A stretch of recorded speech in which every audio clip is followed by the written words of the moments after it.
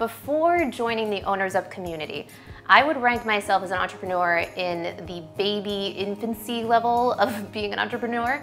I joined Owners Up because coincidentally, about a week beforehand, um, an entrepreneur friend of mine who I really, really admire advised me strongly to surround myself with a basically a board of advisors, um, which sounded really lofty and like nothing I could really do. And then I hear of Owners Up about a week later. Um, and immediately just clicked as I need to be a part of this. My focus has improved tremendously since working with Owners Up. The reason being is that before I really honestly had no idea what I was doing day to day. Like if I were to tell you at the end of the day what I did, it would have been a lot of question marks.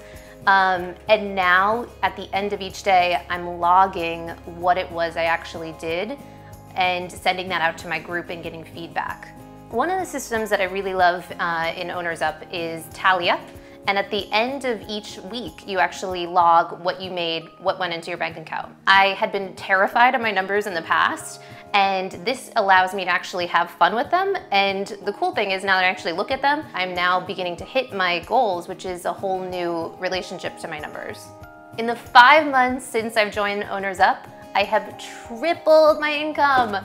Uh, I'm actually on track to even, I can't even believe I'm saying this, but even going up on my goals, which I thought were impossible before, and now I'm literally on track to raise those even higher. When I meet new entrepreneurs, I often recommend Owners Up to them because I'm just clear on the difference it's made in my business.